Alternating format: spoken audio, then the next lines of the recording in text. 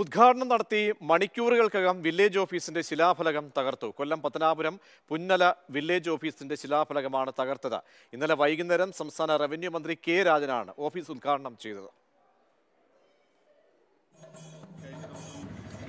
ബഹുമാനപ്പെട്ട മന്ത്രി റവന്യൂ മന്ത്രി തന്നെ വന്ന് ഉദ്ഘാടനം ചെയ്തിട്ട് പോയ ഒരു സംഭവം എല്ലാവരും കണ്ടതാണ്.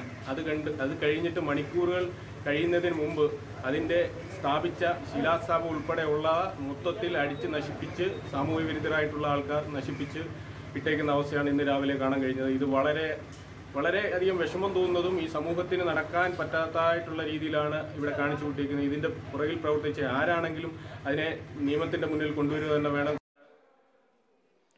കണ്ണൻ നായർ വിവരങ്ങൾ നൽകാൻ ചേരുന്നുണ്ട് കണ്ണൻ സംഭവത്തിന് പിന്നിൽ സാമൂഹ്യ വിരുദ്ധർ എന്നാണോ സംശയിക്കുന്നത്. പോലീസ് സംഭവ സ്ഥലത്ത് എത്തി തെളിവുകളൊക്കെ ശേഖരിച്ചിട്ടുണ്ടോ?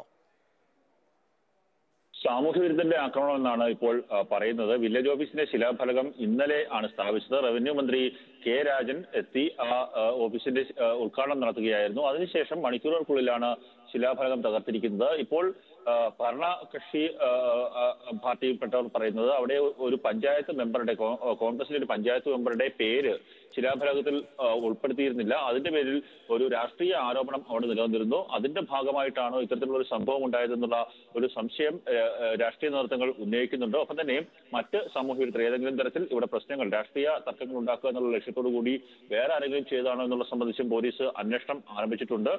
ഇന്നലെ കൊടുക്കുന്ന സുരേഷ് എം പിയും ഗവി ഗണേഷ് കുമാർ എം എൽ എയും അടക്കമുള്ള ആൾക്കാർ പങ്കെടുത്ത ഒരു ഒരു പരിപാടിയായിരുന്നു. ആ പരിപാടിയിലാണ് വില്ലേജ് ഓഫീസ് ഉദ്ഘാടനം ചെയ്യുകയും ചെയ്തത്.